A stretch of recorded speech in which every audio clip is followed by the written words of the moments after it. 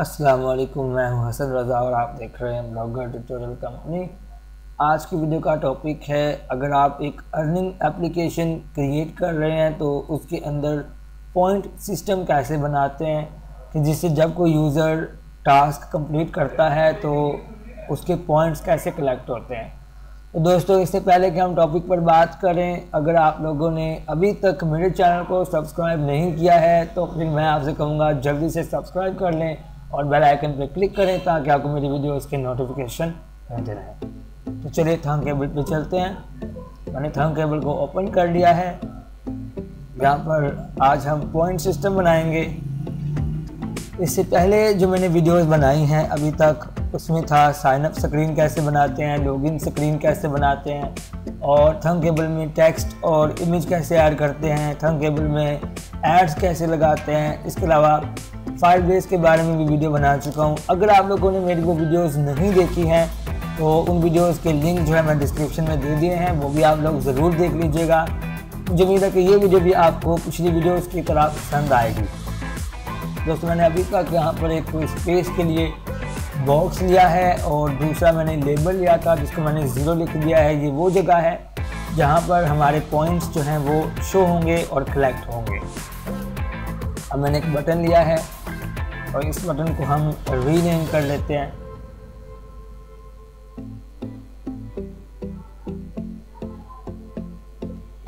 इंशाल्लाह इसका जो नेक्स्ट पार्ट होगा, उसमें मैं बताऊँगा कि इन पॉइंट्स को रिडीम कैसे करते हैं। यानी कोई यूज़र अगर आपकी एप्लीकेशन पे काम करता है, वो सारे टास्क कंप्लीट करता है और जब उसका विड्रा का टाइम होगा तो वो किस किस तरीके से वो कैश आउट करेगा। तो इंशाल्लाह वो नेक्स्ट वीडियो में बताऊँगा कि वो फ़ाइल बेस के थ्रू हम कैसे कर सकेंगे। यहाँ पर हम टीनी डाटाबेस यूज़ करेंगे जो कि इस पॉइंट्स को जमा करेगा। जब कोई यूज़र बार बार अगर बटन पर क्लिक करता है तो उसकी सेटिंग भी होती है। एक यूज़र एक ही बार एक बटन को क्लिक करे और एक ही बार उस टास्क को कंप्लीट करे। उसके पॉइंट्स जो हैं वो मेन स्क्रीन पर जो कि डैशबोर्ड जिसको हम कहते हैं वहाँ पर कलेक्ट हो जाए। मैं दूसरी स्क्रीन जो बना रहा हूँ फाइनल के नाम से, यहाँ पर जो मैं स्क्रीन बना रहा हूँ उसका मतलब ये कि इस स्क्रीन से वो उस टास्क पर जाएगा और उस टास्क को कंप्लीट करने के बाद इस स्क्रीन पर एक मैं लिख दूँगा कि वो फिनिश पे क्लिक करेगा तो उसके जो पॉइंट्स हैं वो मेन स्क्रीन पर जमा हो जाएँगे। तो ये सब कैसे करेंगे? इस वीडियो में मैं आपको बताने वाला हूँ। तो दोस्तों, आप लोग इस वीडियो को किसी भी लम्हे स्किप मत कीजिएगा। एक भी सेकंड अगर आप लोगों ने स्किप कर दिया, कोई भी स्टेप आपसे निकल गया तो ये पॉइंट सिस्टम आपका काम नहीं करेगा। यहाँ पर मैं बटन जो बनाने वाला हूँ, इस बटन का काम ये होगा कि जब कोई यूज़र इस बटन को क्लिक कर देगा फिनिश को तो उसके पॉइंट्स जो हैं वो मेन स्क्रीन पर कलेक्ट हो जाएँगे। इसको भी रीनेम कर लेते हैं।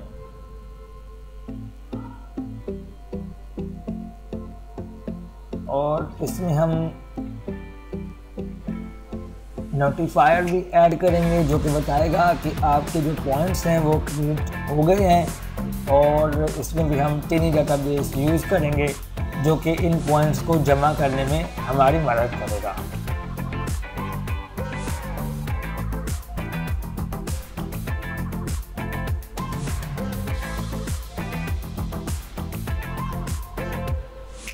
अब हम चलेंगे ब्लॉग्स की तरफ़। हमने जो इस वक्त स्क्रीन ओपन की हुई है, वो फाइनल स्क्रीन है। तो फाइनल स्क्रीन के लिए हम यूज़ करेंगे दोस्तों, सबसे पहले इनिशियलाइज ग्लोबल और यहाँ पर एक सिंपल सा टेक्स्ट बॉक्स लेंगे, जिसमें हम अपनी मर्ज़ी का लिखेंगे और यहाँ पर ज़ीरो लिख देंगे। और इसको हम पॉइंट्स पॉइंट्स यहाँ पर हम टाइप कर देते हैं। ठीक ये काम आपने लाजमी करना है, क्योंकि हमने बार बार जब पॉइंट्स यूज़ करना है तो वो इसमें होता रहेगा। अब आप बटन पे आ जाइए। वैन बटन वन क्लिक ये फाइनल स्क्रीन का है दोस्तों। यहाँ से हम लेंगे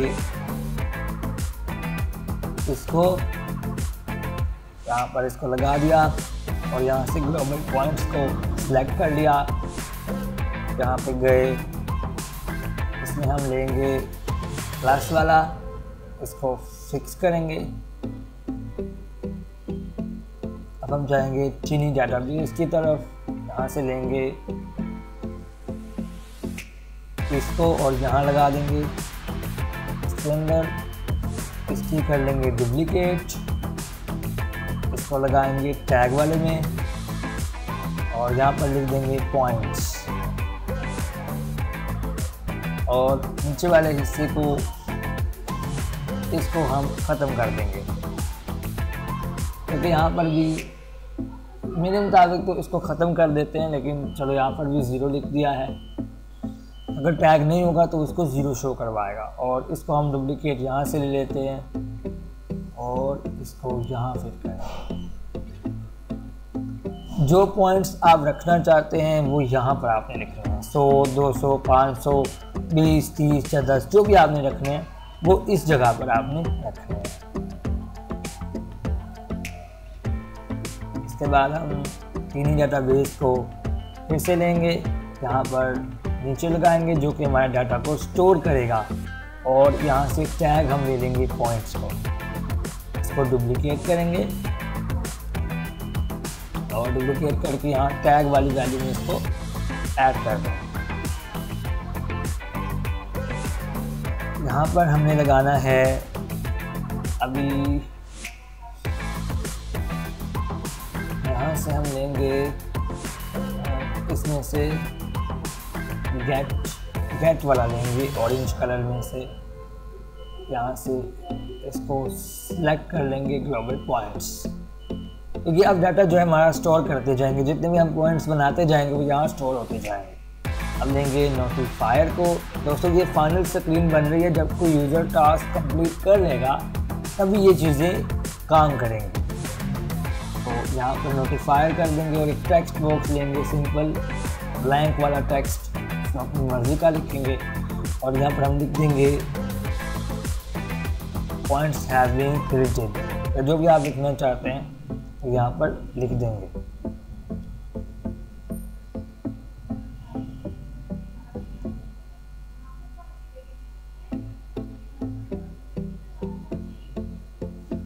ठीक है, अब हम करेंगे, यहाँ से हम चाहते हैं कि एक और स्क्रीन जो है वो ओपन हो। अब यहाँ से ओपन स्क्रीन वाला ऑप्शन लेंगे और इसको हम मेन डैशबोर्ड की तरफ़ या फिर नेक्स्ट जो एक और टास्क है, उसकी तरफ़ इसको कन्वर्ट कर देंगे। यहाँ पर स्क्रीन नेम के लिए भी हमें टैक्स चाहिए होगा। तो यहाँ से हम टैक्स ले लेते हैं। इस जगह पर आपने उस स्क्रीन का नाम देना है कि इस टास्क को ख़त्म करने के बाद यूज़र उस स्क्रीन पर डाइवर्ट हो जाए या कन्वर्ट हो जाए। उसकी तरफ़ चला जाए। यहाँ पर मैं स्क्रीन का नाम लिख देता हूँ।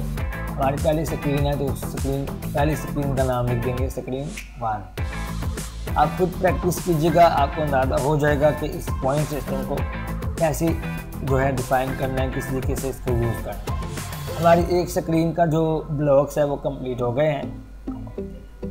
अब हम दूसरी स्क्रीन की तरफ़ चलेंगे, जो है screen one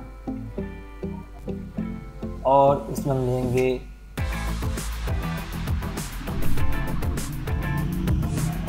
open another screen जब इस बटन पर क्लिक होगा तो नेक्स्ट जो स्क्रीन है वो ओपन होगी फाइनल वाली। उसके लिए हम सिंपल टेक्स्ट वाला लेंगे।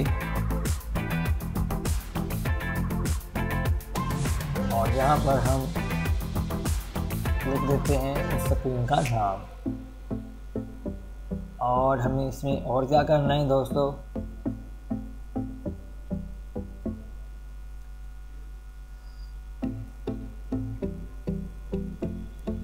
When screen one initialize अब हम क्या करवाएँगे? इससे लेबल को करवाएँगे। तो यहाँ से लेबल का ले लेते हैं, जो कि हमारे पॉइंट्स दिखाता है। ये ले लिया हमने। सेट लेबल वन कर दिया और यहाँ पर हम इन्हीं डाटाबेस को सिलेक्ट करेंगे। और ले लेंगे कॉल टीनी डाटाबेस वन और इसकी जो, इसका जो टैग वाला सिस्टम है, इसको यहाँ से डुप्लीकेट कर लिया मैंने। और यहाँ टैग में लगाया और यहाँ पर लिख दिया पॉइंट्स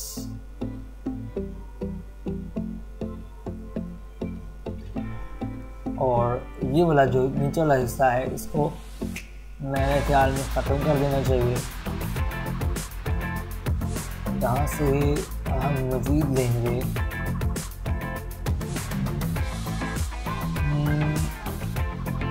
लेबल हम्म, को लेंगे। और यहाँ पर इसको लगाएँगे लेबल को लेंगे। और सिलेक्ट कर लेंगे टेक्स्ट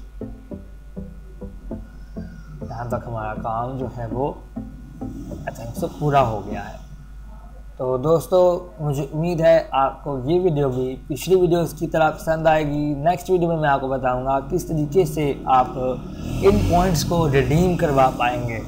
तो दोस्तों, आप मेरी इस सीरीज़ को देखते रहें, मुझे अपना फीडबैक भी ज़रूर दें कि आपको मेरी वीडियोस कैसी लग रही हैं। आपको मज़ा आ रहा है या नहीं, आप कुछ और सीखना चाह रहे हैं तो मुझे बता सकते हैं। अब आपने क्या करना है? वीडियो को लाइक करना है, अपने दोस्तों के साथ शेयर करना है और मेरे चैनल को सब्सक्राइब भी कर लेना है और मुझे दुआ में याद रखना है। अगली वीडियो तक मुझे दे इजाज़त। अल्लाह हाफिज़।